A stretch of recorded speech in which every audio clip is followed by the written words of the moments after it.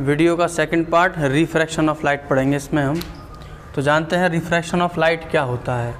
Suppose ये glass है। Glass कैसा होता है? ट्रांसपेरेंट होता है। ये भी एक ऐसा मीडियम है जिससे रे ऑफ़ लाइट आसानी से पास कर सकती है। और यहाँ यहाँ ये एयर है। ये भी एक मीडियम है। सपोज़ ये मीडियम वन है और ये मीडियम टू है। अब कोई रे ऑफ़ लाइट आई? ये रे ऑफ़ लाइट है। और ये रे ऑफ़ लाइट इस ग्लास के इस इंटरफेस पर पड़ी। ये इंटरफेस है बिल्कुल। इस पर इंसिडेंट हुई। इंसिडेंट होने के बाद क्या होगा कि ये सीधी नहीं जाएगी, ऐसे नहीं जाने वाली। है ये क्या है? थोड़ा सा बेंड कर जाएगी, इस तरह से यूँ जाएगी। तो जब कोई रे ऑफ़ लाइट किसी दूसरे मीडियम के आने की वजह से अपना रास्ता बदल दे इसी फेनोमेनन को हम कहते हैं रिफ्रैक्शन ऑफ़ लाइट ठीक है? अब हम इसमें छोटा सा काम और करते हैं, क्या? कि ये जो इंटरफेस है, इसके परपेंडिकुलर एक इमेजिनरी लाइन ड्रॉ कर ले रहे हैं, ये। और इसको हम बोलते हैं नॉर्मल ये रिफ्लेक्शन ऑफ़ लाइट में भी पढ़ा होगा आपने, है ना? नॉर्मल हो गया ये? ये क्या है? ये है इंसीडेंट रे ये इंसीडेंट रे है।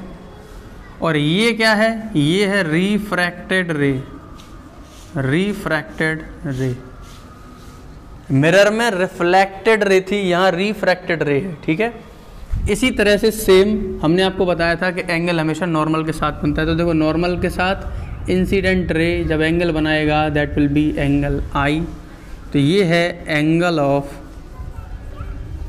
incidence similarly refracted ray जब इस नॉर्मल के साथ एंगल बनाएगा that will be angle R and this is angle of refraction confusion ना हो, इसके लिए आप चाहो तो इनको थीटा वन थीटा टू नाम भी दे सकते हो। जैसे मैं यहाँ लिख सकता हूँ कि ये थीटा टू है, यहाँ लिख सकता हूँ कि ये थीटा वन है। कन्फ्यूज़न की बात क्यों कह रहा हूँ? क्योंकि रिफ्लेक्शन में भी आर एंगल ऑफ़ रिफ्लेक्शन पढ़ा था आपने। तो कन्फ्यूज़न ना हो इसलिए मैंने इसको थीटा टू लिख दिया, कोई दिक्कत नहीं। तो रिफ्रैक्शन में क्या देखा हमने? कि जब भी कोई रे ऑफ़ लाइट किसी एक और मीडियम के आने की वजह से अपना जो पाथ है, उसे चेंज करे या बेंड हो जाए, उसको हम कहते हैं रिफ्रैक्शन ऑफ़ लाइट तो यहाँ आप लिख सकते हो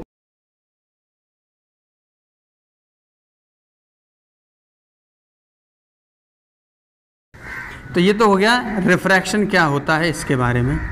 अब हम जानेंगे कि रिफ्रैक्शन क्यों होता है। ऐसा क्या रीज़न है कि ये रे ऑफ़ लाइट बेंड कर गई? तो देखिए यहाँ ये जो मीडियम मैंने लिखा है ना, ये मीडियम है ऑप्टिकल मीडियम ऑप्टिकल मीडियम है ये. ऑप्टिकल वर्ड क्यों लगाया? क्योंकि ये ट्रांसपेरेंट मीडियम है. ट्रांसपेरेंट मीडियम कैसे? जैसे एयर है वाटर है कैरोसिन है, और भी बहुत सारे एग्ज़ाम्पल हो सकते हैं. अब ये जो ऑप्टिकल मीडियम है, ये दो तरह के होते हैं. एक तो होता है optically rarer medium optically rarer medium एक होता है ऑप्टिकली डेंसर मीडियम शॉर्ट में हम इनको रेयरर मीडियम या डेंसर मीडियम बोलते हैं। रेयरर मीडियम है या डेंसर मीडियम है? रेयरर मीडियम क्या है? रेयरर मीडियम वो मीडियम होता है जिसमें लाइट रे की स्पीड फास्ट हो। बहुत तेज़ी से निकल जाए लाइट रे है ना? जैसे जैसे एयर है। एयर है या वैक्यूम है, उसमें कितनी स्पीड से लाइट जाती है। डेंसर क्या है? डेंसर वो मीडियम है जिसमें स्पीड ऑफ़ लाइट धीरे जाती है स्लो कंपेयर्ड स्लोली जाए दैट इज़ डेंसर मीडियम तो अब हम बात करने जा रहे हैं कि रिफ्रैक्शन क्यों होता है। तो इसका रीज़न यहाँ लिख देता हूँ मैं रिफ्रैक्शन क्यों होता है। रिफ्रैक्शन इसलिए होता है क्योंकि स्पीड ऑफ़ लाइट अलग अलग मीडियम में अलग अलग होती है। जैसे यहाँ एयर है तो यहाँ स्पीड ऑफ़ लाइट अलग होगी। एयर में स्पीड ऑफ़ लाइट क्या होती है? Speed of light in air क्या होती है भाई? Three into ten to the power eight metre पर सेकेंड ग्लास में? ग्लास में होती है स्पीड ऑफ़ लाइट कितनी होती है speed of light in glass तो ये होती है two into ten to the power eight metre पर सेकेंड तो ये मीडियम है कैसा? एयर इसके मुकाबले ग्लास के मुकाबले एयर कैसा है? रेयरर है। यानी कि रेयरर मीडियम वो है जिसमें स्पीड ऑफ़ लाइट फास्ट रहे और फास्ट क्यों रहती है? क्योंकि इसकी डेंसिटी कम होती है। डेंसिटी इज़ लो और डेंसर मीडियम में density is high density is high ठीक है? तो देखो एयर रेयरर मीडियम है, इसलिए इसमें स्पीड कितनी three into ten to the power eight glass denser medium है, इसलिए इसमें स्पीड ऑफ़ लाइट कितनी है? Two into ten to the power eight अब आप ध्यान से देखो ray of light three into ten to the power eight से चली आ रही थी एकदम से, और जैसे ही ग्लास में एंटर हुई स्पीड हो गई two into ten to the power eight तो आप सपोज़ कोई बहुत स्पीड से आ रहा है और अचानक से रुक जाए, धीरे चलने लग जाए तो उसकी स्पीड ऑफ़ लाइट देखो बैंड हो गई कि नहीं? बेंडिंग अपने आप नज़र आएगी। या कोई बहुत धीरे चल रहा है और अचानक से तेज चलने लग जाए तो भी देखो बेंडिंग हुई। तो ये जो रिफ्रैक्शन है, ये क्यों होता है? ये होता है change in speed of light change in speed of light speed of light में चेंज आने की वजह से रिफ्रैक्शन होता है। क्यों होता है भाई? चेंज क्यों आ रहा है? क्योंकि mediums are different mediums are different भाई मीडियम अलग अलग ही तो हैं। ध्यान से देखो, ये एयर है, ये ग्लास है। दोनों मीडियम अलग हैं। मीडियम अलग है तो स्पीड ऑफ़ लाइट चेंज हो गई। स्पीड ऑफ़ लाइट चेंज हो गई तो बेंडिंग हो गई बेंडिंग हो गया तो रिफ्रैक्शन हो गया। समझ आई बात? स्पीड ऑफ़ लाइट की वजह से सारा खेल हो रहा है। तो ये था पूरा कंसेप्ट के स्पीड ऑफ़ लाइट में परिवर्तन क्यों हो रहा है और रिफ्रैक्शन जनरली है क्या? पूरी चीज़ यहाँ कवर होगी तो आप इसको नोट कर लीजिए। इसके बाद हम देखते हैं कि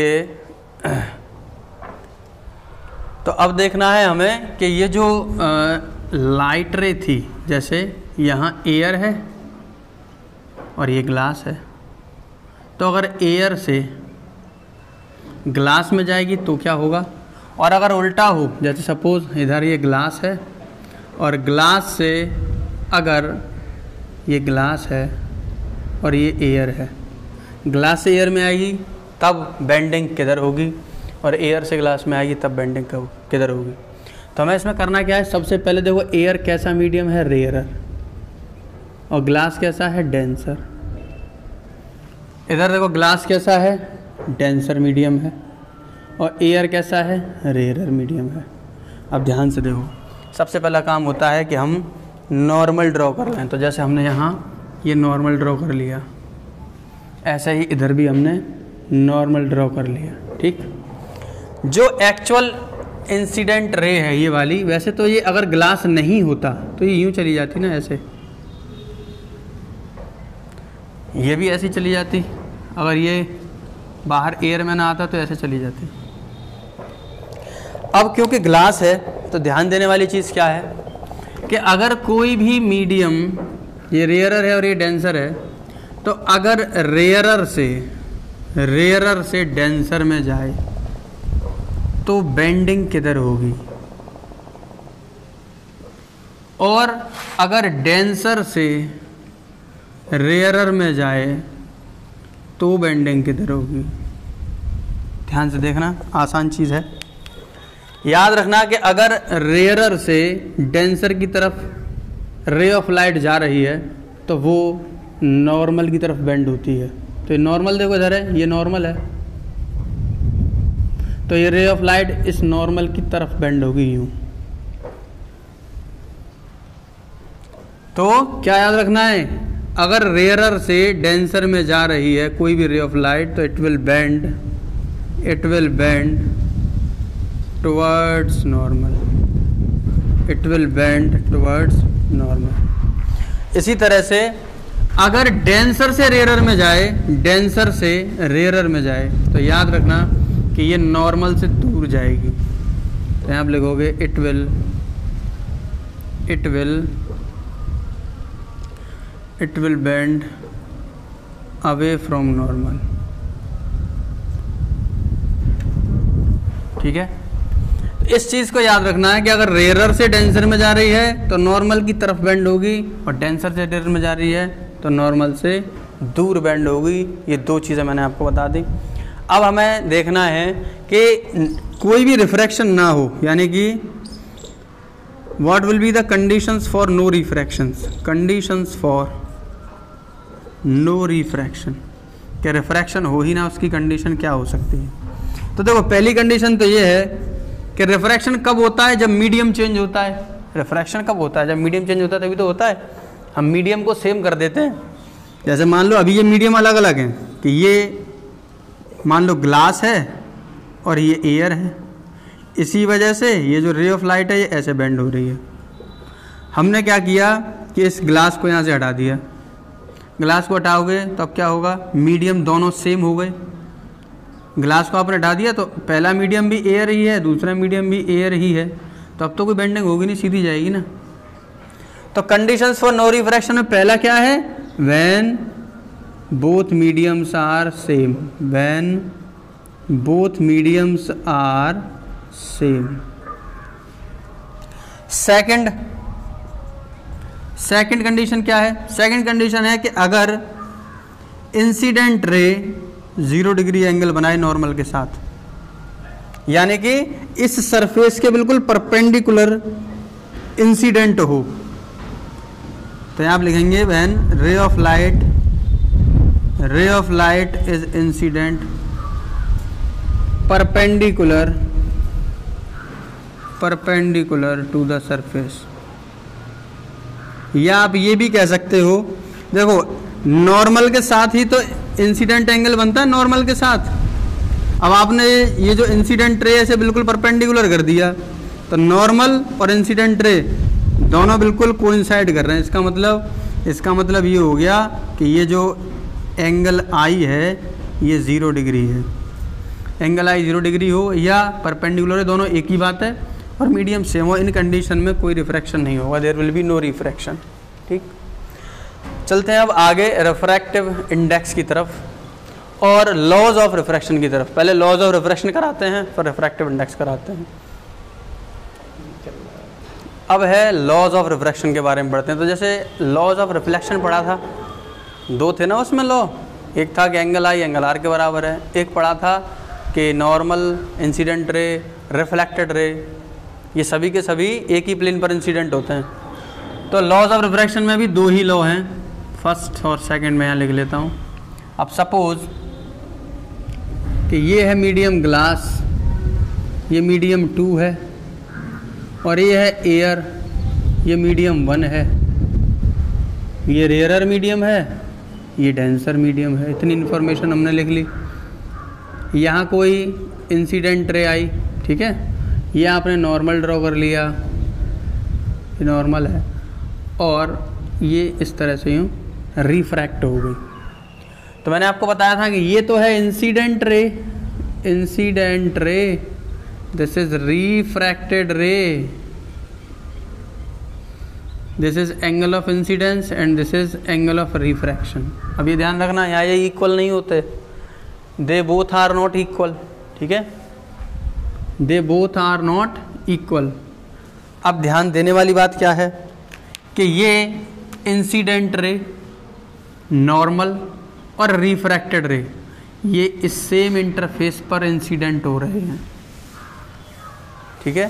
सेम इंटरफेस पर इंसिडेंट है, यानी कि इसी जगह पर हैं ये।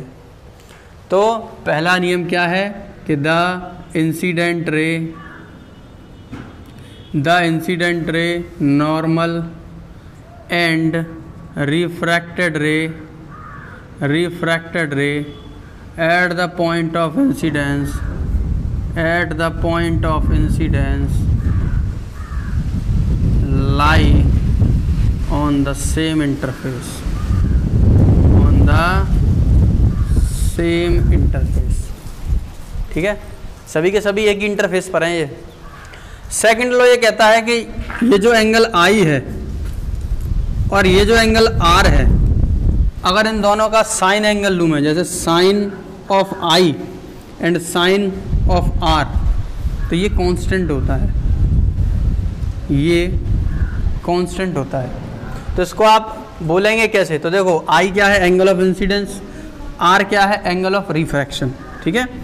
इसको हम बोलते हैं रेशियो तो आप बोलोगे the ratio of sine of angle of incidence to sine of angle of refraction is constant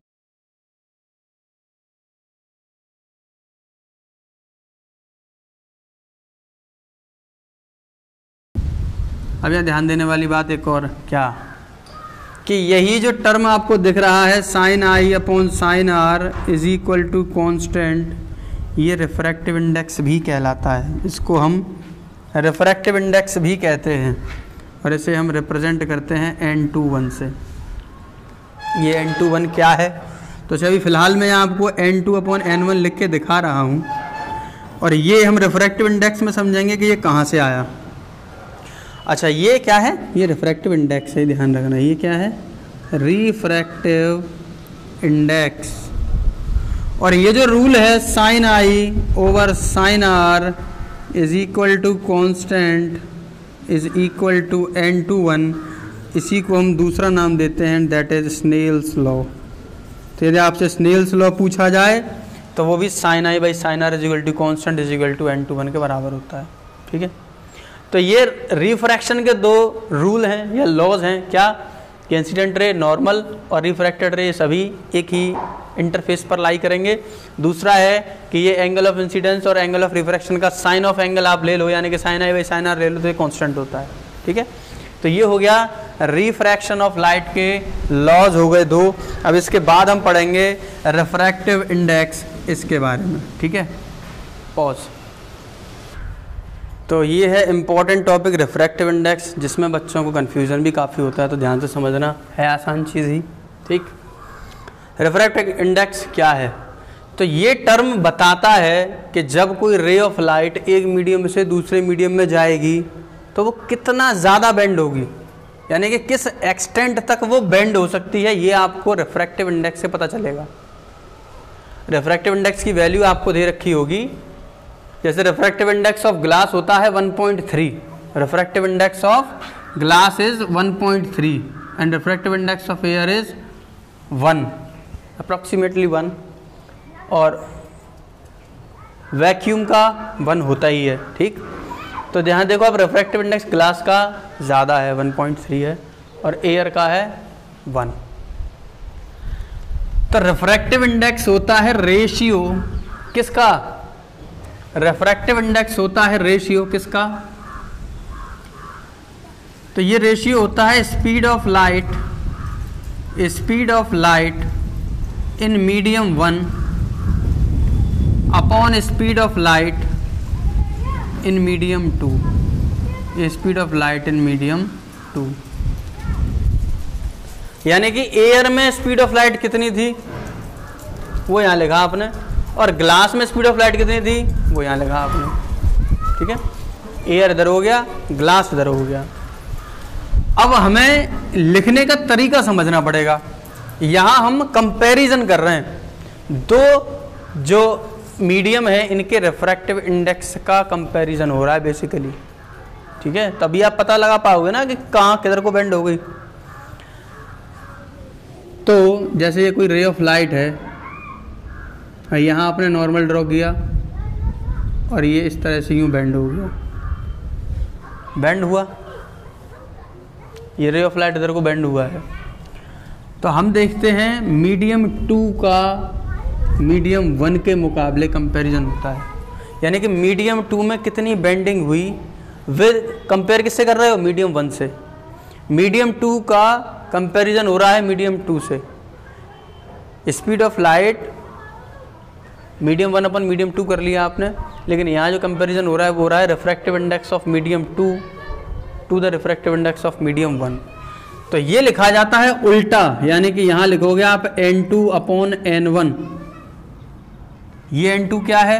तो यहाँ मैं लिख देता हूँ एन टू है refractive refractive index of medium two medium two क्या था? ग्लास ठीक है? ये क्या है? N one refractive index of medium one medium one क्या है? एयर है। ठीक है? तो ये दो रिफ्रैक्टिव इंडेक्स आपने कंपेयर किए। उनका फॉर्मूला है speed of light in medium one upon speed of light in medium two आपने speed of light in medium one मान लिया वी वन है।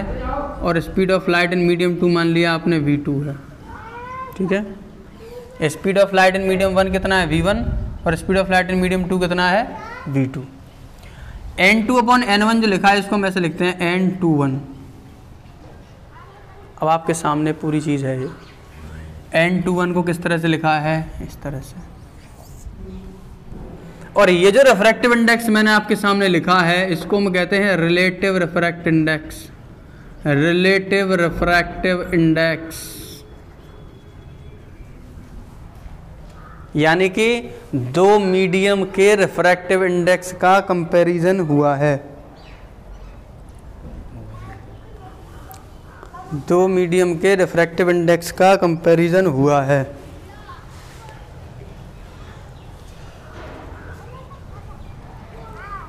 पॉज कर दो इसे।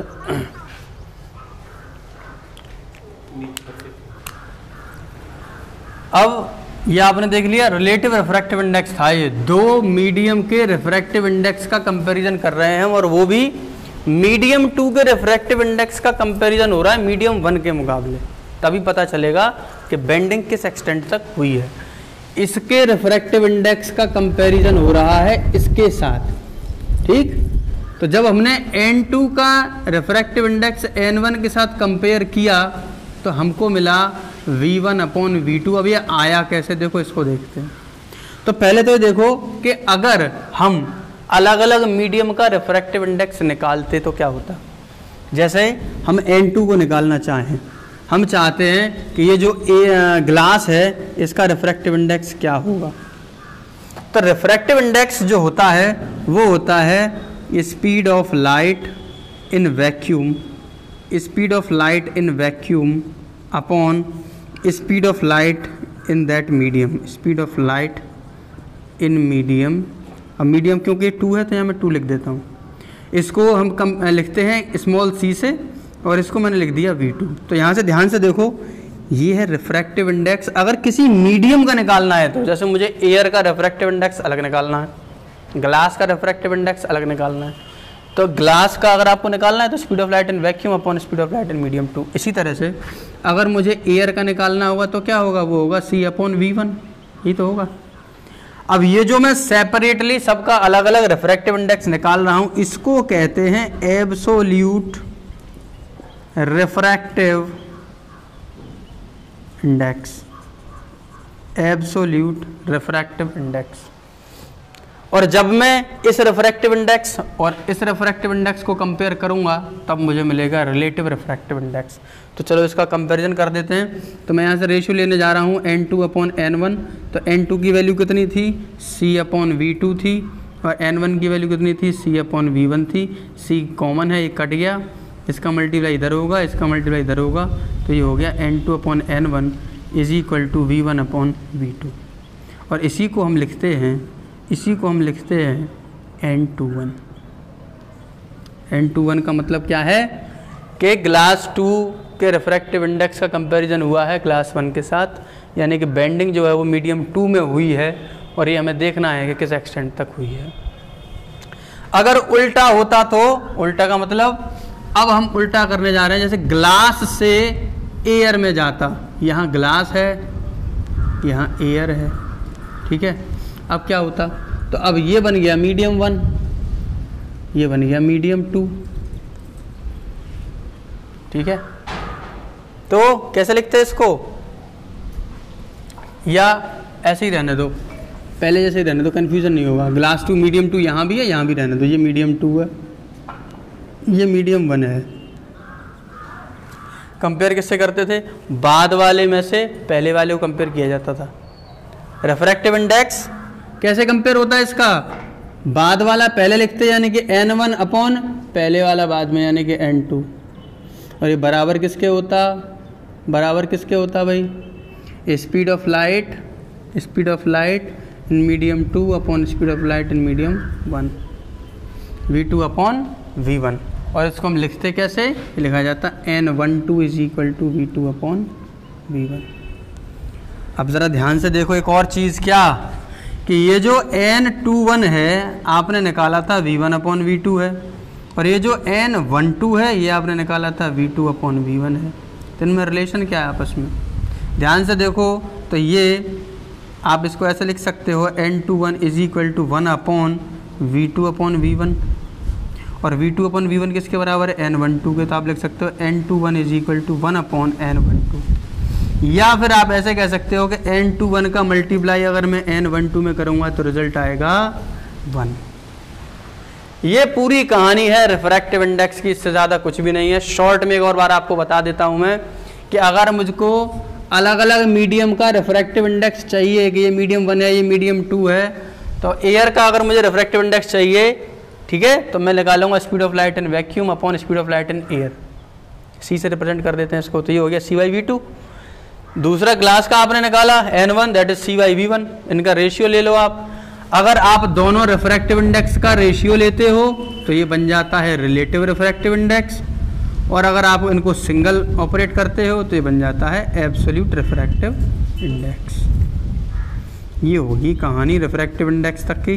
अब इसमें एक टॉपिक और है that is rectangular glass slab उसको फटाफट देख लेते हैं। इसके बाद फिर आएँगे हम लेंसेज पर। तो रेक्टेंगुलर ग्लास स्लैब से रिफ्रैक्शन हमें पढ़ना है। तो देखो, ये है ग्लास अब तक की जितनी चीज़ें आपने पढ़ी वो सब इसमें आ जाएँगी अब। ये पूरा ग्लास है, ठीक है? मैंने यहाँ लिखा ये ग्लास है। और ये एयर है। मीडियम वन हो गया ये। और ये क्या हो गया? मीडियम टू अब सपोज़ कोई इंसिडेंट रे इस तरह से इस ग्लास पर पड़ने जा रही है। अगर ये ग्लास नहीं होता तो ये कुछ इस तरह से चली जाती ना यूँ। ऐसे चली जाती। लेकिन क्योंकि ग्लास है तो आप क्या करोगे? पहले तो एक नॉर्मल ड्रॉ कर लो। किधर को बेंड होगी? अगर रेयरर से डेंसर में जाती है तो किधर बेंड होती है? नॉर्मल की तरफ़। यानी कि ये रेयरर मीडियम है, ये डेंसर मीडियम है तो ये बेंड होगी नॉर्मल की तरफ़। ये बेंड होगी देखो। अब फिर से यहाँ एयर है, यानी कि ये रेयरर मीडियम है। फिर से आप नॉर्मल ड्रॉ करोगे एक। अगेन अब क्या होगा? ये नॉर्मल से दूर चली जाएगी, यानी कि यूँ। ठीक है? ये आ गई इधर। तो ये जो रे इंसिडेंट हुई थी दैट इज़ इंसिडेंट रे ये तो इंसिडेंट रे है। ये क्या है? ये रिफ्रैक्टेड रे है। इसको हम कहते हैं इमरजेंट रे इमरजेंट रे ठीक है? और ये जो एंगल है, ये है एंगल ऑफ़ इंसिडेंस यानी कि ये जो आई है, ये क्या है? एंगल ऑफ़ इंसिडेंस है ये। ये जो एंगल है, ये क्या है? Angle of refraction angle of refraction और ये जो एंगल बना है that is angle of emergence angle of emergence ठीक है? अब यहाँ एक चीज़ और ध्यान से देखो, क्योंकि ये दोनों एक दूसरे के पैरेलल हैं तो ये वाला जो एंगल है, इसके बराबर होगा अल्टरनेट एंगल्स हो गए ना ये? तो ये भी एंगल आर ही होगा। और एक चीज़ इसमें याद रखना आप from the conclusion that angle I will be equal to angle E इसके बराबर बैठेगा ये। इसमें एक और क्वेश्चन आता है जो काफ़ी ज़्यादा इम्पोर्टेंट है। वो है कि ये बताओ लेटरल शिफ्ट लेटरल शिफ्ट या फिर लेटरल डिस्प्लेसमेंट क्या होता है? ये एक इम्पोर्टेंट क्वेश्चन है। तो ध्यान रखना कि जो एक्चुअल इंसिडेंट रे थी, ये वाली, और ये जो इमरजेंट रे है, इन दोनों के बीच की ये जो दूरी है परपेंडिकुलर डिस्टेंस है, इसे मैं डी से डिनोट कर रहा हूँ, यही है लेटरल डिस्प्लेसमेंट या लेटरल शिफ्ट तो ये डी क्या है? तो आप यहाँ लिख सकते हो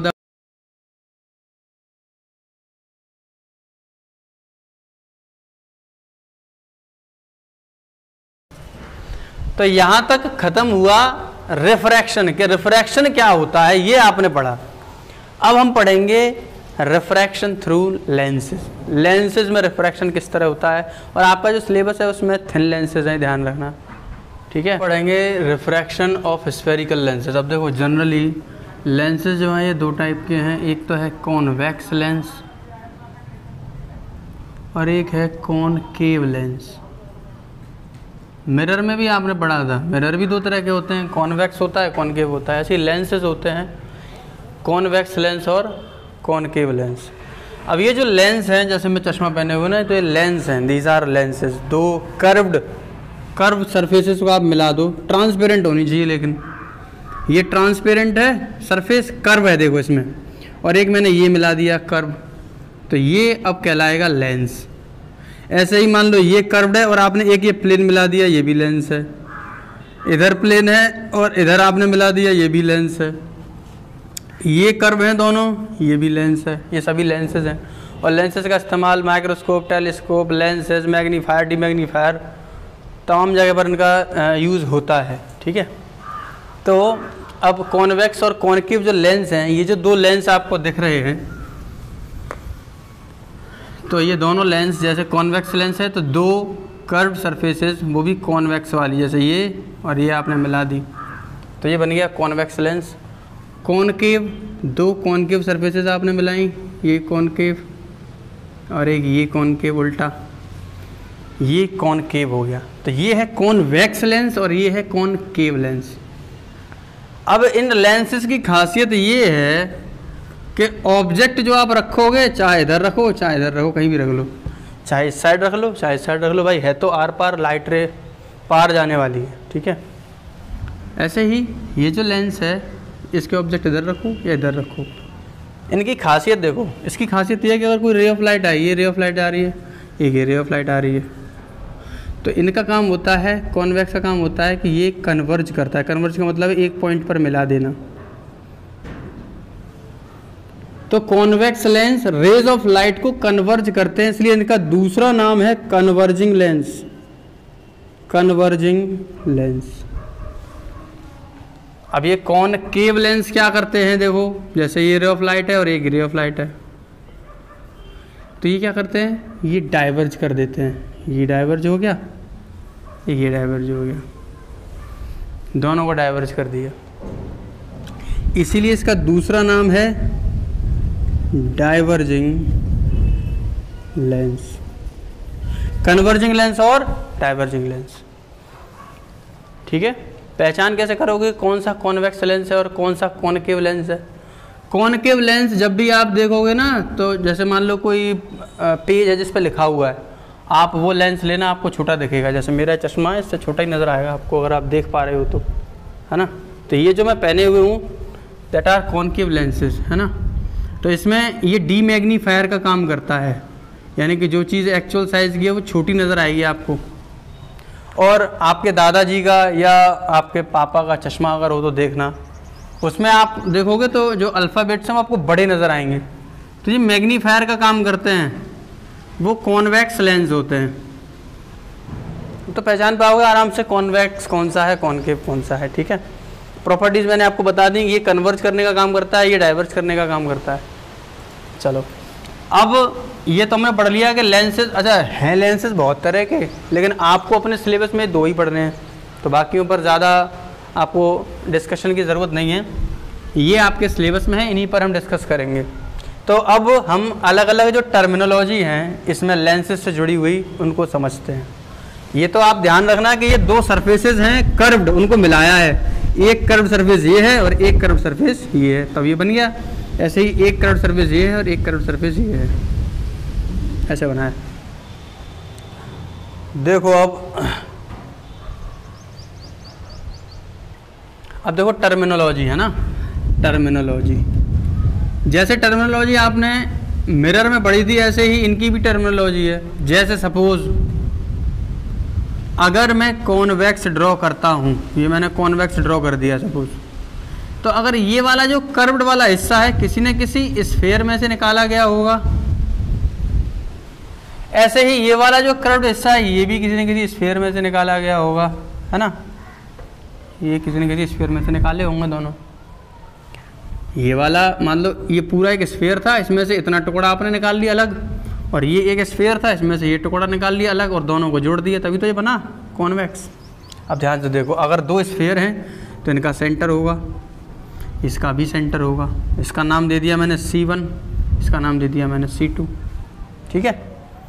और एक लाइन मैंने ड्रॉ की जो इन दोनों से पास होती हुई जा रही है।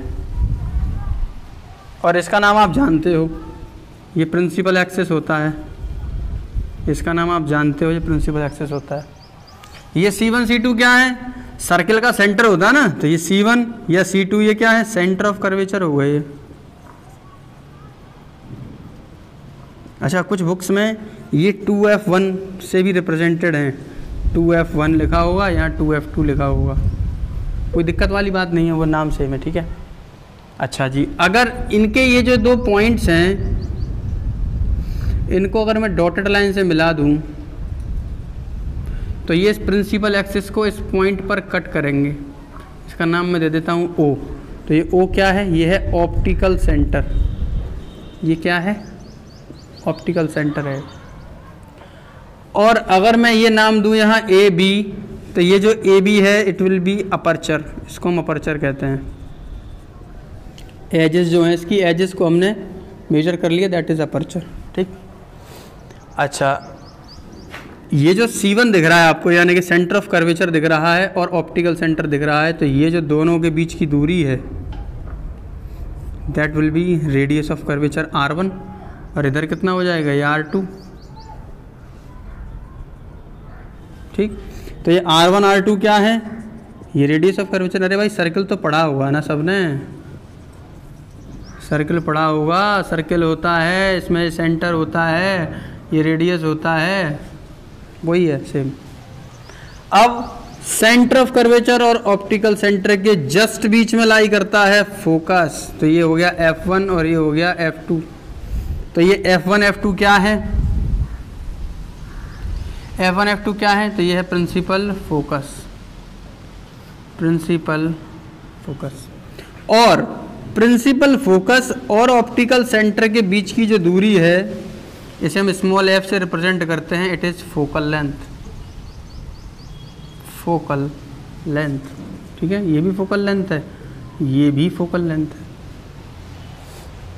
इतनी चीज़ें आपको इसमें समझनी थी। ये बताया मैंने किसका? कॉन्वेक्स का है। सिमिलरली कॉनकेव में भी यही कहानी होने वाली है कि मान लो ये एक स्फेयर है और एक स्फेयर ये है। मैंने ये दोनों पॉइंट्स यहाँ मिला दिए। ये बन गया देखो कॉनकेव लेंस ये इनका सेंटर है। आपने यहाँ से एक लाइन ड्रॉ कर ली इस तरह से। ये सेंटर हो गए दोनों के सी वन सी टू और बिल्कुल जस्ट बीच से मैंने एक लाइन ड्रॉ कर दी। दिस इज़ ऑप्टिकल सेंटर इसके बीच में फोकस ये रेडियस ऑफ़ कर्वेचर यहाँ तक। ये आर टू हो गया। ये फोकल लेंथ हो गया। सेम है। भाई, दो स्फेरिकल सर्फेसेस से ये भी बना है दो स्फेरिकल सर्फेसेस से ये भी बना है तो ये क्या है? ये टर्मिनोलॉजी हो गई। लेंसेज की। टर्मिनोलॉजी का इस्तेमाल इसलिए किया जाता है ताकि जिन वर्ड्स का हम आपको टॉपिक्स डिक्टेट करने में यूज़ करेंगे तो आप समझ पाओगे कि ये क्या चीज़ बोली जा रही है। फोकस कहाँ बोल दिया रेडियस ऑफ़ कर्वेचर क्या बोल दिया। ये ध्यान रखना, यहाँ two F one F one आपको अपनी बुक्स में मिल सकता है कि यहाँ टू एफ़ वन लिखा हुआ है कन्फ्यूज़ हो जाओगे, सर ने तो सी वन बोला था, यहाँ टू एफ़ वन लिखा है। टेंशन वाली कोई बात नहीं है, ये एफ़ है। जितना ये एफ़ है, उतना ही इधर भी एफ़ है, इसको मिला के टू एफ़ लिख दिया। कोई दिक्कत नहीं, कोई कन्फ्यूज़न होने की ज़रूरत नहीं है कन्फ्यूज़ ना हो आप। अब इसके बाद जो मेन ऑब्जेक्टिव है हमारा, वो ये है कि हम इन लेंसेज के सामने ऑब्जेक्ट रखेंगे और इमेज कहाँ बनेगी, ये देखना है हमें बस। अलग अलग पोजीशन पर ऑब्जेक्ट रख देंगे और ये देखेंगे इमेज कहाँ बनेगी। अब आपको सर जी ऑब्जेक्ट किधर रखें? चाहे इधर रखो, चाहे इधर रखो, कहीं भी रख लो। किसी एक फोकस का इस्तेमाल कर लो। ठीक है, जैसे मान लो आप ये F1 वाला यूज़ कर रहे हो ऑब्जेक्ट को यहाँ रखो। और F2 वाला यूज़ कर रहे हो तो ऑब्जेक्ट को यहाँ रखो। किधर भी यूज़ कर सकते हो। तो अब चलते हैं इमेज फॉर्मेशन बनाने, लेकिन उससे पहले ये सीखना पड़ेगा कि इमेज बनती कैसे है। यानी कि हमें सीखने पड़ेंगे rules rules for image formation हम सीखेंगे। तो इसको नोट करिए, इसके बाद हम चलते हैं रूल्स फॉर इमेज फॉर्मेशन पर। तो देखो रूल्स फॉर इमेज फॉर्मेशन तो इधर मैं लिख देता हूँ कॉन्वैक्स लेंस और इधर लिख देता हूँ कॉनकेव लेंस। कॉन्वेक्स लेंस और कॉनकेव लेंस। मैंने दोनों तरफ़ पार्टीशन कर दिए समझाने के लिए। तो देखो, तीन रूल हैं। फ़र्स्ट लिख देता हूँ, इधर सेकंड लिख देता हूँ, इधर थर्ड लिख देता हूँ, है ना? ऐसे ही इधर है फ़र्स्ट, इधर है सेकंड, और इधर है थर्ड। देखो ध्यान से। कॉन्वेक्स लेंस बनाया मैंने। ये रहा कॉन्वेक्स लेंस। ये प्रिंसिपल एक्सिस है। यहाँ सी वन या टू एफ़ वन आप लिखना चाहो टू एफ़ वन लिख लो। यहाँ principal focus F one F two two F two या सी टू आप लिख सकते हो, ठीक? अब सपोज़ मैंने कोई ऑब्जेक्ट रखा यहाँ। ऑब्जेक्ट वो तो बाद में रखेंगे, पहले देख रहे हैं, रूल्स देख रहे हैं। तो अगर कोई ray of light principal axis के पैरेलल जाती है। ध्यान से सुनना, अगर कोई ray of light principal axis के पैरेलल जाती है तो वो फोकस से पास करती है, ऐसे। दोनों में सेम कंडीशन है, यही कहानी इसमें भी है कि मान लो, ये कौन केव लेंस है ऑप्टिकल सेंटर इसका भी ये ऑप्टिकल सेंटर तो ये है टू एफ़, ये है एफ़, ये है एफ़, ये है टू एफ़। कोई रे ऑफ़ लाइट यदि पैरेलल है प्रिंसिपल एक्सिस के तो इसमें जब आपको पता है ना कि डाइवर्जिंग होता है, यूँ चला जाता है। एक्चुअली फोकस से पास नहीं हो रहा, ये तो भग गया भाई, दूर साइड चला गया। ये आपको एक्सटेंड करना पड़ेगा पीछे की तरफ़, ऐसे। और जब आप इसे एक्सटेंड करोगे तो आप देखोगे कि ये फोकस से पास हो रहा है। तो यहाँ it actually passes through focus and it appears to pass through focus ध्यान रखना। क्या? It appears to pass through focus actually pass नहीं होता है appears to pass through focus second case देखो। जैसे ये है। ये हो गया टू एफ़ ही लिख देता हूँ। चलो मैं एफ़ एफ़ टू एफ़ दूसरा कहता है कि यदि कोई रे ऑफ़ लाइट है और वो रे ऑफ़ लाइट फोकस से पास हो रही है, ये तो रिफ्रैक्शन के बाद ये प्रिंसिपल एक्सेस के पैरल चली जाती है। इसका उल्टा हो गया, एक तरह से देखो तो। ये पैरल था तो फोकस से पास हो गया। ये फोकस से गया तो पैरल हो गया। सेम कहानी इसमें भी आने वाली है, देखो। ये क्या है? ये optical centre F F two F two F कहता है कि अगर कोई रे ऑफ़ लाइट फोकस से पास होती हुई अपीयर हो रही है, आपको कि ये फोकस पर पड़ने वाली है तो it will go parallel to principal axis इसमें सारा खेल अपीयरेंस का लगेगा कि हाँ फोकस से पास हो रही है, लेकिन फोकस से असल में एक्चुअली में ये फोकस से पास नहीं हो रही। अगर आप इसको एक्सटेंड करोगे तो फोकस तक पहुँच जाएगी। अगर ऐसी स्थिति बनती है तो ये प्रिंसिपल एक्सेस के पैरेलल चली जाएगी। थर्ड रूल थर्ड रूल कहता है कि ऑप्टिकल सेंटर है। F two F F and two F कहता है कि अगर कोई रे ऑफ़ लाइट अगर कोई ray of light optical centre से होकर पास होती है तो इट विल गो अनडेविएटेड बिना डिस्टर्ब हुए बिल्कुल सीधी चली जाएगी। इसमें भी यही कहानी होगी सेम मान लो ये ऑप्टिकल सेंटर है, ये फोकस, ये टू एफ़, ये एफ़ और ये टू एफ़। तो अगर ऑप्टिकल सेंटर से होकर जा रही है तो अनडेविएटेड पास हो जाएगी। तो ये तीन रूल्स हैं कॉन्वेक्स के लिए। पहला रूल क्या है? ध्यान रखना सेम है लगभग।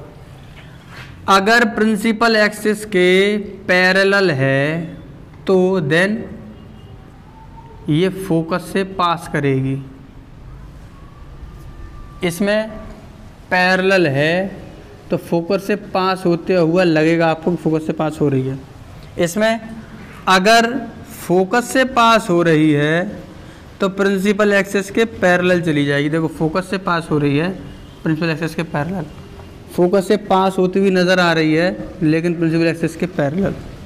तीसरा है, अगर ऑप्टिकल सेंटर से पास हो रही है तो अनडेविएटेड जाएगी, यानी कि बिना डिस्टर्ब हुए चली जाएगी। सीधी चलेगी ये भी सीधी चलेगी इनमें से कोई से दो रूल लगाओ इमेज बन जाएगी। ठीक है? तो इमेज हम बनाएँगे कैसे कैसे? देखो, सबसे पहले ऑब्जेक्ट को हम रखेंगे इन्फिनिटी पे, फिर लेके आएँगे यहाँ टू एफ़ वन से थोड़ा पीछे, फिर टू एफ़ वन पर रखेंगे, फिर टू एफ़ वन और एफ़ वन के बीच में रखेंगे, फिर एफ़ वन पर रखेंगे, फिर ओ और एफ़ वन के बीच में रखेंगे। छः केस बनाएँगे टोटल इसके। इसमें सिर्फ़ दो ही केस रहेंगे, या तो इन्फिनिटी पे या इन्फिनिटी और ऑप्टिकल सेंटर के बीच में कहीं पे भी। इसमें सिर्फ़ दो केस, इसमें छः केस। अभी पढ़ते हैं, देखो। इसके बाद इसे नोट कर लो आप। तो देखो, अब हम पढ़ेंगे image formation by convex lens छः पोजीशंस हैं अलग अलग जगह पर देखेंगे, पहले इन्फिनिटी पर रखेंगे।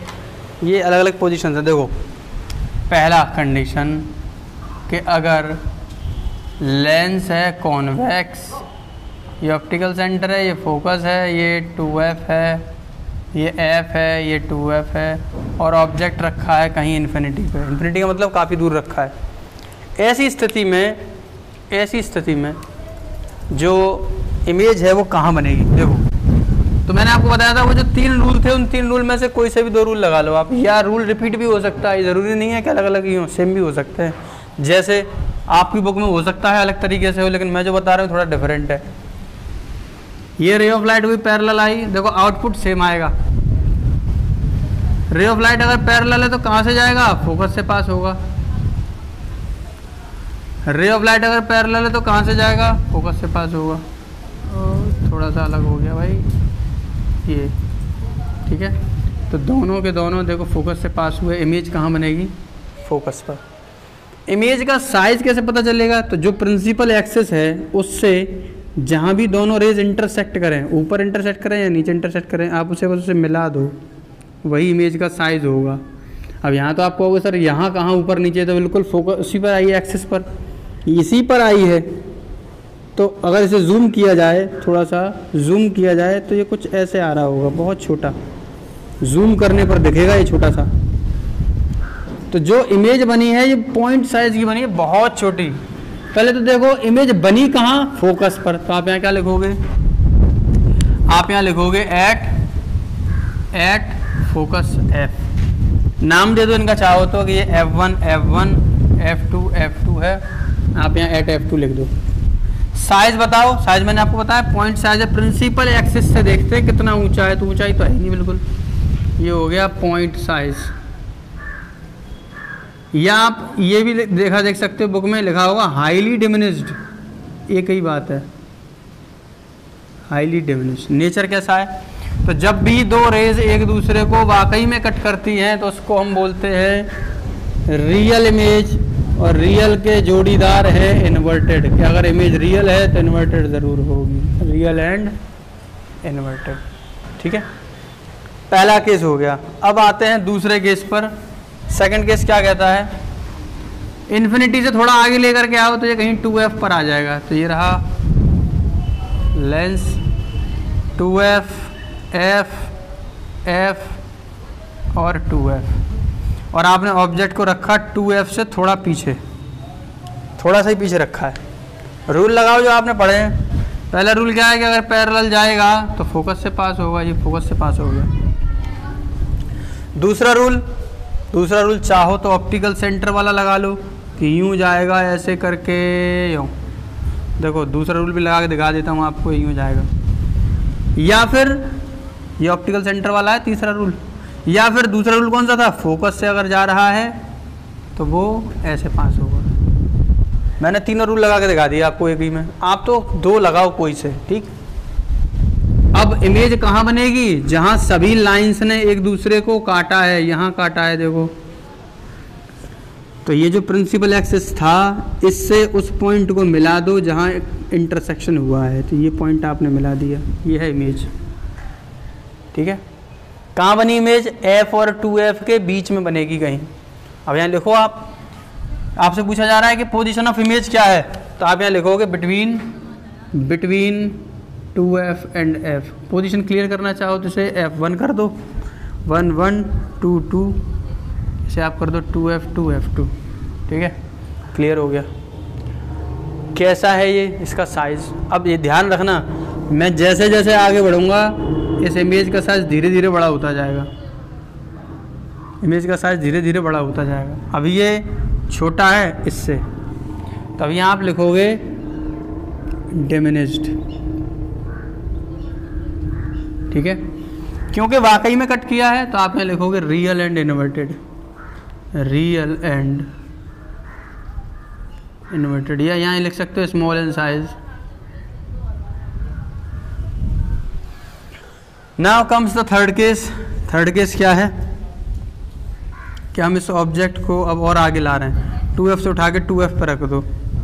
टू एफ़ वन से पीछे रखा था, अब टू एफ़ पर रख दो आप इसको।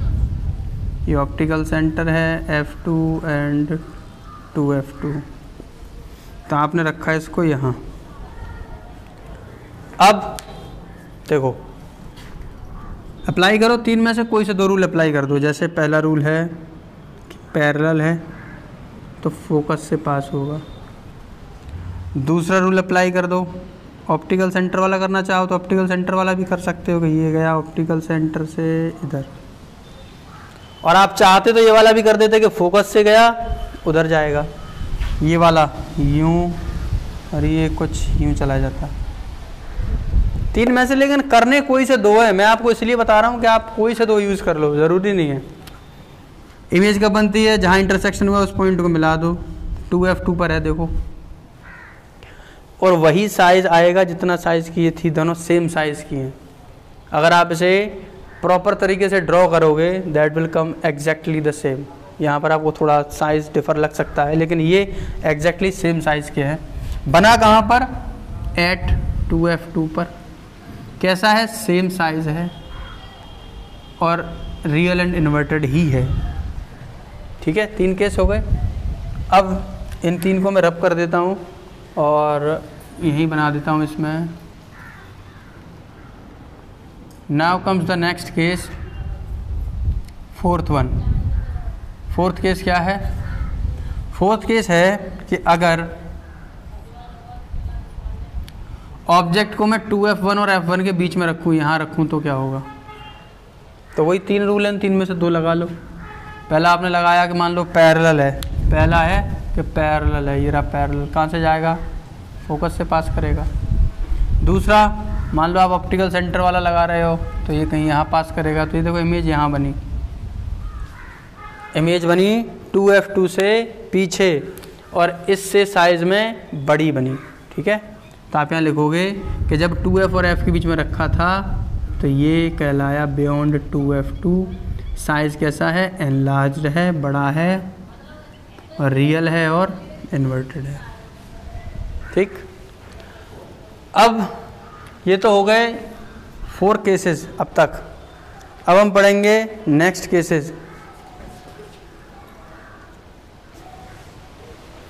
अब है फिफ्थ केस कि अगर ऑब्जेक्ट फोकस पर रखा हो, यानी कि इसको और आगे लेकर के जाओ आप। तो ये है convex lens F two two F two F one हमने इसको रखा फोकस पर। अप्लाई करो रूल आपको मालूम है, तीन में से कोई से दो। पैरेलल है, फोकस से जाएगा। ये चला गया फोकस। दूसरा दूसरा आप ऑप्टिकल सेंटर से भी इसको पास करा सकते हो, ये। अब आप ध्यान से देखो कि ये जो लाइंस हैं, दोनों पैरेलल है एक दूसरे के। ये कैसी हैं? पैरेलल है। तो ये यहाँ इंटरसेक्ट कर ही नहीं रही। अब ये जैसे जैसे आगे बढ़ती जाएँगी इमेज का जो साइज़ धीरे धीरे धीरे धीरे धीरे धीरे बड़ा होता जाएगा। अब कहीं सपोज़ हमने माना कि ये कहीं पैरेलल पर जा कर के मीट करेंगी। लेट अस सपोज़ कहीं इन्फिनिटी पर जा कर के ये मीट कर जाएँगी पैरेलल लाइंस तो अगर ये इन्फिनिटी पर मीट करेंगी तो इनका साइज़ कैसा हो जाएगा? हाईली एनलार्ज बहुत बड़ी इमेज बनेगी। हाईली एनलार्ज पोजीशन क्या होगी? एट इन्फिनिटी इन्फानाइट पर। नेचर तो वही सेम है रियल इन्वर्टेड रहेगा ही। अब आया लास्ट केस लास्ट केस है कि मान लो, ये ऑप्टिकल सेंटर है, ये F2 है, ये 2F2 है, ये F1 है, ये 2F1 है, कि अगर ऑब्जेक्ट ऑप्टिकल सेंटर और फोकस के बीच में रखा हो यहाँ तो अब इसकी इमेज कहाँ बनेगी? रूल आपको पता ही है। पहली लाइन आपने पैरेलल दिखा दी इधर से। अब दूसरी लाइन किधर से जाएगी? दूसरी लाइन ऑप्टिकल सेंटर से पास होगी ये। तो अब तो ये पैरेलल भी नहीं रहे जो आप ये कहो कि इन्फानाइट पर कहीं जाके मिल सा मिल सकते होंगे। अब तो ये जगह जो स्पेस है इसका बढ़ता जाएगा बढ़ता जाएगा। आगे बढ़ता ही जाएगा मिलने का तो कोई चांस है ही नहीं। तो आगे तो इसकी इमेज मिलने से रही। अब हम क्या करेंगे? अगर आगे इमेज नहीं मिल रही है तो हम इसको एक्सटेंड करेंगे पीछे। पीछे की तरफ़ आपने इसको एक्सटेंड किया। ये पीछे की तरफ़ आपने इसको एक्सटेंड कर लिया। तो जब भी इमेज एक्सटेंशन से मिलती है, यानी कि आपने वो बढ़ाना पड़ा इसको पीछे तो इस तरह की इमेज को हम वर्चुअल कहते हैं कि ये वर्चुअल है। और वर्चुअल का जोड़ीदार कौन है? इरेक्ट ये भी ध्यान रखना। इरेक्ट का मतलब होता है सीधा। ये बिल्कुल सीधा बना है। तो अगर इरेक्ट है तो ज़ाहिर सी बात है वो वर्चुअल होगी। ठीक है? और अगर वर्चुअल है तो वर्चुअल के साथ इरेक्ट आएगा। वर्चुअल है तो इरेक्ट है इरेक्ट है तो वर्चुअल है। ऐसे ही रियल है तो इन्वर्टेड होगी इन्वर्टेड है तो रियल साथ में जुड़ा ही होगा। ये इनके जोड़ीदार हैं, ठीक? तो ये जो है, इस इमेज का नेचर कैसा हो गया? यानी कि इसके किस तरह की है? तो आप यहाँ लिखोगे कि ये है वर्चुअल एंड इरेक्ट ये अकेली है अपने आप में जो वर्चुअल एंड इरेक्ट है। किस तरह की बनेगी? बड़ी बनेगी एंड लार्ज कहाँ बनेगी? On the same side of the object on the same side of the object. और किधर बनेगी? बिहाइंड द ऑब्जेक्ट ऑब्जेक्ट के पीछे बनेगी।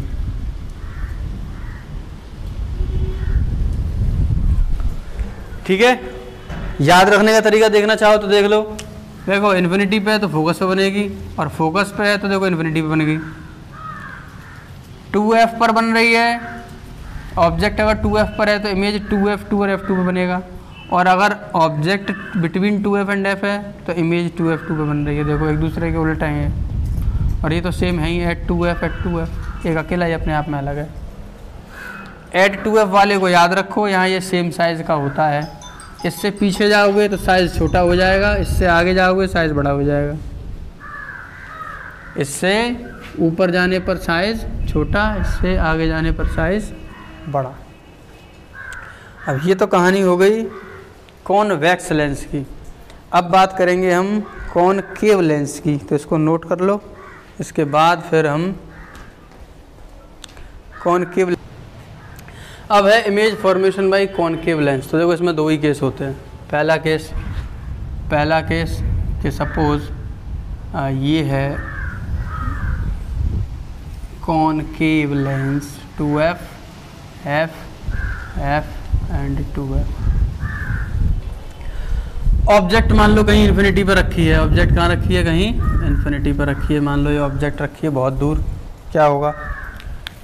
कि कोई ray of light I parallel ये कोई ray of light I parallel क्या करता है ये? डाइवर्ज कर देता है ना? डाइवर्ज कर दिया डाइवर्ज कर दिया। ये डाइवर्ज हो गई। तो अब डाइवर्ज हो गई तो इमेज तो कहीं आगे तो बनेगी नहीं। ज़ाहिर सी बात है आपको इसे पीछे एक्सटेंड करना पड़ेगा। या आपने पीछे एक्सटेंड किया इसको? या आपने पीछे एक्सटेंड किया इसको? दोनों पीछे एक्सटेंड हो गए। कहाँ मिले? फोकस पर। कैसा साइज़ है? पॉइंट साइज़ है, बिल्कुल छोटा। इमेज कैसी है? इमेज है वर्चुअल एंड इरेक्ट ठीक है? तो पोजीशन कहाँ थी? एट इन्फिनिटी पर। इमेज कहाँ बनी? एट फोकस पर। साइज़ कैसा है? पॉइंट साइज़ है। और नेचर कैसा है? वर्चुअल है और इरेक्ट है। वर्चुअल एंड इरेक्ट वर्चुअल क्यों है? क्योंकि एक्सटेंड करना पड़ा हमको ध्यान रखना। और ये इमेज फॉर्मेशन जो है न्यूमेरिकल्स के लिहाज से भी बड़े इंपॉर्टेंट हैं। इसलिए ध्यान से। इनको पढ़ना भी है रिवाइज भी करना है। सेकंड केस सेकंड केस है कि इन्फिनिटी और ऑप्टिकल सेंटर के बीच में कहीं पर भी रख दो। ये टू एफ़ है ये एफ़ है यहाँ एफ़ है और ये टू एफ़ है। मान लो सपोज़ मैंने ऑब्जेक्ट को रख दिया यहीं रख दिया सपोज़ ये लो इधर। ठीक है? अगर मैं ऑब्जेक्ट को यहाँ रखूँगा तो क्या होगा? पहला आपने लगाया ये कि ये फोकस से पास नो सॉरी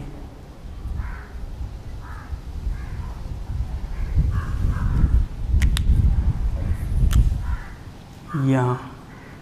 पहला है कि अगर ये है तो ये डाइवर्ज कर देगा इसको।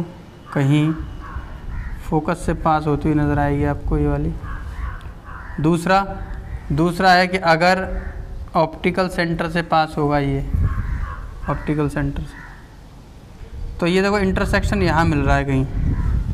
यानी कि ऑप्टिकल सेंटर और फोकस के बीच में। तो अगर ऑब्जेक्ट को आप between infinity and optical centre O के बीच में रखोगे तो ऑब्जेक्ट आपको मिलेगी between focus and optical centre O. मिलेगी कैसी? डिमिनिस्ड यानी कि स्मॉलर इन साइज़, और नेचर कैसा होगा? Virtual and erect. Virtual and erect ठीक है? तो ये हमने अब तक पढ़ लिया इमेज फॉर्मेशन के बारे में। अब हमको जो पढ़ना है, वो पढ़ना है, एक तो पढ़ना है साइन कन्वेंशन एक पढ़ेंगे हम लेंस फार्मूला एक पढ़ेंगे मैग्नीफिकेशन कंसेप्ट ख़त्म हो जाएँगे फिर, इसके रह जाएँगे न्यूमेरिकल्स तो अब नेक्स्ट जो टॉपिक है, वो है साइन कन्वेंशन तो साइन कन्वेंशन देखना है यानी कि इसका यूज़ है जब हम न्यूमेरिकल सॉल्व करेंगे तो न्यूमेरिकल्स में किस चीज़ को, जैसे कि फोकल लेंथ है, ऑब्जेक्ट डिस्टेंस है, इमेज डिस्टेंस है, हाइट ऑफ़ ऑब्जेक्ट है, हाइट ऑफ़ इमेज, इन चीज़ों को साइन जो है, वो कैसा रखना है? पॉजिटिव कौन सा होगा, नेगेटिव कौन सा होगा, उसके लिए इस्तेमाल होता है साइन कन्वेंशन। तो कोऑर्डिनेट ज्योमेट्री तो आपने पढ़ा ही होगा। कोऑर्डिनेट ज्योमेट्री अगर आपने पढ़ा है तो अगर कॉन्वेक्स लेंस है तो ऑप्टिकल सेंटर जो है, बिल्कुल ओरिजिन पे आना चाहिए। ये ऑप्टिकल सेंटर है वो। ठीक है? ऑप्टिकल सेंटर से जितनी भी लेफ़्ट साइड की जो डिस्टेंस है, ये डिस्टेंस अगर आप इधर मेजर कर रहे हो तो ये डिस्टेंस नेगेटिव ली जाती है। यानी कि माइनस एक्स जो है ये माइनस एक्स को रिप्रेजेंट कर रहा है। और अगर ऑप्टिकल सेंटर से आप इधर जाओगे तो it will represent plus X यानी कि यहाँ की जो डिस्टेंस है ये ये पॉजिटिव ली जाएगी। सिमिलरली इस ऑप्टिकल सेंटर और प्रिंसिपल एक्सिस की बात हो रही है ना प्रिंसिपल एक्सिस से आप ऊपर की अगर डिस्टेंस देखोगे तो इधर प्लस वाई मौजूद रहता है। तो इधर ऊपर की जो डायरेक्शन में है, इसकी पॉजिटिव वैल्यू लेनी है। और अगर डाउन डायरेक्शन में आप डिस्टेंस को देखने जा रहे हो या हाइट को देखने जा रहे हो तो उसको हम नेगेटिव कंसिडर करते हैं। फॉर एग्ज़ाम्पल मैंने इस कौन वैक्स लेंस के सामने एक ऑब्जेक्ट को रख दिया ये रहा। अगर ऑब्जेक्ट मैंने यहाँ रखा है तो ऑप्टिकल सेंटर से लेकर के और इस ऑब्जेक्ट तक की जो दूरी है, ये ये ऑब्जेक्ट डिस्टेंस कहलाती है इसे हम यू से रिप्रेजेंट करते हैं। यू क्या है? Object distance.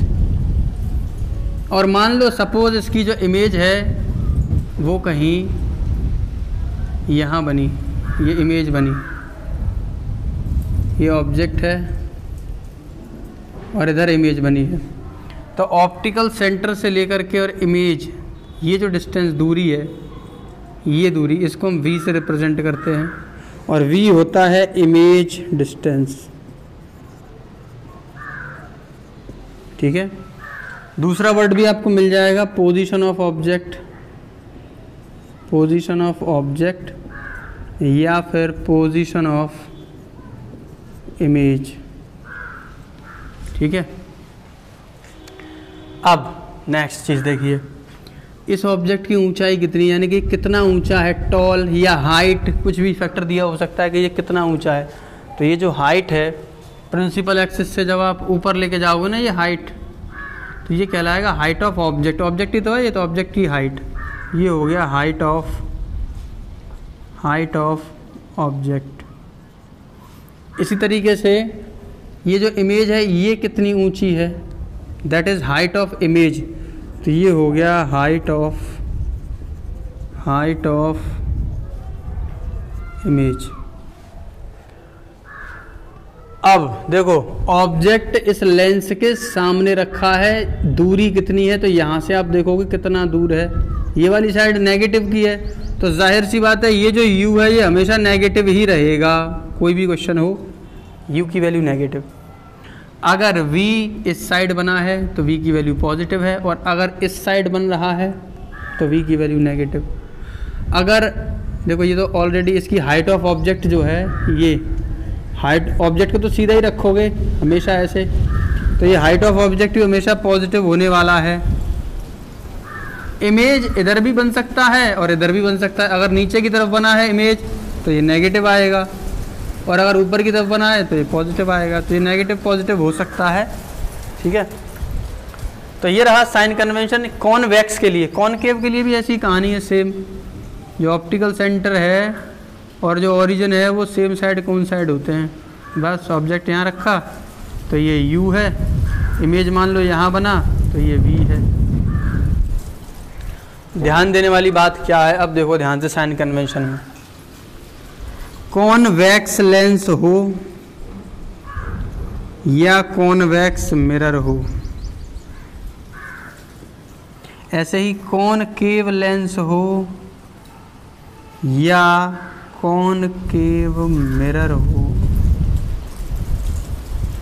इनकी फोकल लेंथ हमेशा नेगेटिव रहती है।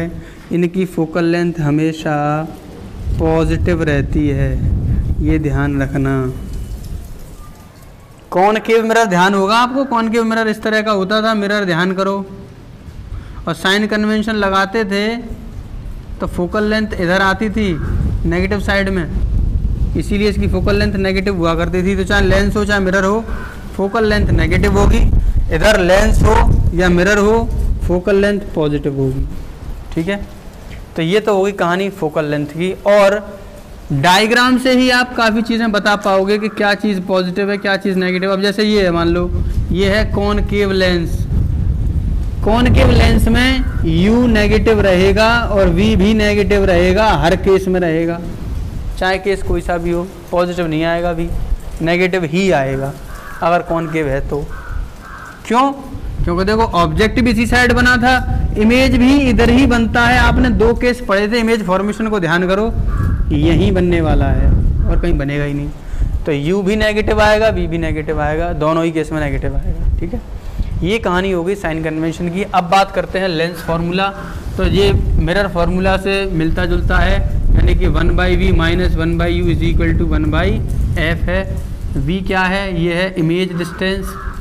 v है इमेज डिस्टेंस। u है ऑब्जेक्ट डिस्टेंस। u है ऑब्जेक्ट डिस्टेंस। और f है फोकल लेंथ। f है फोकल लेंथ। ये कहलाता है लेंस फॉर्मूला। अब बात करते हैं मैग्निफिकेशन क्या होता है? तो मैग्निफिकेशन होता है ratio of height of image upon height of object height of image upon height of object magnification का मतलब होता है लेंस ने या मिरर ने उस ऑब्जेक्ट की जो इमेज बनाई है, वो कितनी ज़्यादा बड़ी या कितनी ज़्यादा छोटी बनाई है, ठीक? दूसरा भी फॉर्मूला है, इसका वो है वी अपॉन यू याद रखना, अगर मिरर है तो यहाँ माइनस लगा होगा, लेकिन अगर लेंस है तो खाली ऐसे ही रहेगा। ये अगर फॉर्मूला है तो ये लेंस का हो गया और यहाँ माइनस लगा दो तो अब ये मिरर का हो गया। ये यहाँ माइनस लगा हुआ है तो ये लेंस फार्मूला और यहाँ प्लस कर दूँगा तो ये मिरर फार्मूला हो गया। है ना? आसान चीज़ है। लेकिन कंफ्यूज नहीं होना है बस। मैग्नीफिकेशन से जुड़ी कुछ चीज़ें याद रखनी है आपको क्या? देखो। मैग्नीफिकेशन में आप देख रहे हो height of image upon height of object अगर मैग्नीफिकेशन वन से बड़ा हो मैग्नीफिकेशन वन के बराबर हो, मैग्नीफिकेशन वन से छोटा हो, मैग्नीफिकेशन पॉजिटिव हो, मैग्नीफिकेशन नेगेटिव हो, इतनी सारी चीज़ें देखनी है आपको। मैग्नीफिकेशन वन से बड़ा हो तो क्या होगा? मैग्नीफिकेशन की वैल्यू वन से बड़ी आएगी तो क्या होगा? वन से बड़ा ये टर्म कब होगा? वन से बड़ा तब होगा जब ये न्यूमरेटर बड़ा हो, हाइट ऑफ़ इमेज बड़ी हो, हाइट ऑफ़ ऑब्जेक्ट से।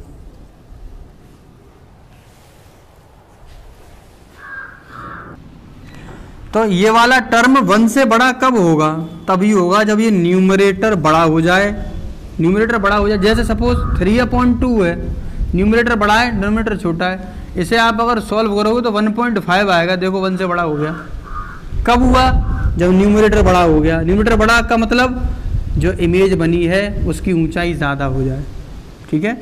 तो अगर एम की वैल्यू वन से बड़ी है तो आप कह सकते हो image is magnified image is magnified या आप कह सकते हो size of image size of image is greater अगर वन के बराबर हो तो अभी मैग्निफिकेशन वन कब आएगा? ये पूरा फैक्टर वन कब बनेगा? जब ये दोनों एक जैसे हो जाएँ, जैसे थ्री अपॉन थ्री है। कटेगा तो बनाएगा इसका मतलब हाइट ऑफ़ इमेज और हाइट ऑफ़ ऑब्जेक्ट दोनों सेम हो जाएँ। ये कब होगा जब हाइट ऑफ़ इमेज और हाइट ऑफ़ ऑब्जेक्ट बराबर हो?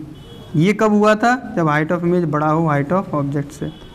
तो यहाँ अगर मैग्नीफिकेशन वन आया है, इसका मतलब है कि साइज़ जो है वो सेम रहेगा same size of image as that of object as that of object magnification one से छोटा हो, कब होगा छोटा? देखो ध्यान से इसे देखो। वन से छोटा तब होगा जब ये ऊपर वाला जो पार्ट है, छोटा हो जाए। जैसे जैसे टू अपॉन थ्री ये मान लो टू अपॉन फाइव है, ये ऐसे है टू अपॉन फाइव अब देखो न्यूमिनेटर छोटा है डिनोमिनेटर बड़ा है। अगर इसे सोल्व आप करोगे तो आएगा ज़ीरो पॉइंट फोर और देखो ज़ीरो पॉइंट फोर वन से छोटा है। तो वन से छोटा कब हुआ? वन से छोटा तब हुआ जब न्यूमिनेटर छोटा था। न्यूमिनेटर छोटा का मतलब कि हाइट ऑफ़ इमेज जो है, ये अब छोटी है। हाइट ऑफ़ ऑब्जेक्ट से इसका मतलब इमेज इज़ डी मैग्नीफाइड जो आपको इमेज मिली वो डी मैग्नीफाइड मिली। अब बात आती है मैग्नीफिकेशन पॉजिटिव पॉजिटिव कब आएगा? सोचो। पॉजिटिव आने की दो कंडीशन है। मैं इसको मिटा देता हूँ। अब देखना है कि मैग्नीफिकेशन पॉजिटिव कब आएगा और उससे क्या होगा। तो देखो मैग्नीफिकेशन मैंने आपको बताया M is equal to height of image upon height of object और साइन कन्वेंशन में हमने ये देखा था साइन कन्वेंशन किसी का भी ले मान लो कॉन्वेक्स लेंस ही ले रहा हूँ मैं। तो साइन कन्वेंशन हमने देखा था कि हाइट ऑफ़ इमेज जो है, ये तो पॉजिटिव ही रहेगी। सॉरी ऑब्जेक्ट वाली। हाइट ऑफ़ ऑब्जेक्ट तो हमेशा पॉजिटिव रहेगी, ये तो फिक्स है। ये पॉजिटिव हो गया, ये फिक्स हो गया। अब अगर इस पूरे टर्म को पॉजिटिव बनाना है तो ऊपर वाले को भी पॉजिटिव होना पड़ेगा, है ना? इसको भी पॉजिटिव होना पड़ेगा। और ये पॉजिटिव कब होगा? इस इस पॉजिटिव का मतलब क्या है? इस पॉजिटिव का मतलब ये है कि इमेज भी ऊपर ही बन रही है। और ये हमेशा किस केस में होता है? तो ध्यान करो, कौन केव वाला केस याद करो। कौन केव में दो ही केस थे, दोनों केस में ऐसी इमेज बन रही है। एक में पॉइंट ऑब्जेक्ट है, वो भी वर्चुअल इरेक्ट है और ये भी वर्चुअल इरेक्ट है। तो अगर मैग्निफिकेशन पॉजिटिव है तो ध्यान रखिए इमेज जो बनेगी that will be virtual and erect virtual and erect और अगर मैग्निफिकेशन नेगेटिव है तो नेगेटिव कब होगा? देखो, ये वैल्यू तो फिक्स है। Height of image upon height of object ये तो फिक्स है नीचे वाली पॉजिटिव तो इसको नेगेटिव होना पड़ेगा, इसको नेगेटिव होना पड़ेगा। और अगर ये नेगेटिव हो गई नेगेटिव का मतलब कि नीचे की तरफ़ बनी। और अगर ये नीचे की तरफ़ बनी इमेज अगर उल्टी बन रही है इमेज अगर उल्टी बन रही है तो वो क्या रिप्रेजेंट करता है कि इमेज है रियल एंड इन्वर्टेड इमेज कैसी है? रियल एंड इन्वर्टेड अब इसी से आप बता पाओगे, इसी से आप बता पाओगे कि लेंस कैसा है। अगर इमेज वर्चुअल इरेक्ट आ रही है तो देखो लेंस कॉनकेव ही होगा। हालाँकि एक केस कॉन्वेक्स में भी है, ऐसी बात नहीं है। लेकिन इसमें तो हर हालत में ऐसा ही बनेगा वर्चुअल इरेक्ट अच्छा इमेज अगर रियल इन्वर्टेड बनी है तो रियल इन्वर्टेड कॉनकेव में तो बनने का कोई चांस ही नहीं है। ठीक है? रियल एंड इन्वर्टेड तो हमेशा ही कॉनवेक्स में बनेगा? तो अगर क्वेश्चन में आपसे पूछा जाए मैग्निफिकेशन तो मैग्निफिकेशन जब भी पूछा जाएगा तो आप इस फॉर्मूले से निकाल सकते हैं। साथ में, अगर आपसे नेचर पूछा है तो नेचर के लिए भी आपको मैग्निफिकेशन निकालना पड़ेगा। और मैग्निफिकेशन की मदद से आप बताओगे कि इमेज कैसी बन रही है। नेचर में हमको बताना होता है कि इमेज कैसी बनी। नेचर में हमको बताना होता है कि इमेज कैसी बनी है? वर्चुअल इरेक्ट बनी है या रियल इन्वर्टेड बनी है? वैसे तो आप इमेज फॉर्मेशन से भी क्वेश्चंस को वर्बली सॉल्व कर सकते हो। मैं न्यूमेरिकल्स वाला पार्ट जब वीडियो आएगी तब आप देखना, उसमें आपको बताऊँगा किस तरह से क्वेश्चन सॉल्व हो रहा है। मतलब आधा क्वेश्चन वर्बली सॉल्व हो रहा है इमेज फॉर्मेशन के कंसेप्ट से सॉल्व हो रहा है। बाकी प्रूफ हम उसको सॉल्व करके भी कर सकते हैं। तो ये कंसेप्ट वाला जो पार्ट था, ये हो गया फिनिश रिफ्लेक्शन का ख़त्म हो गया है।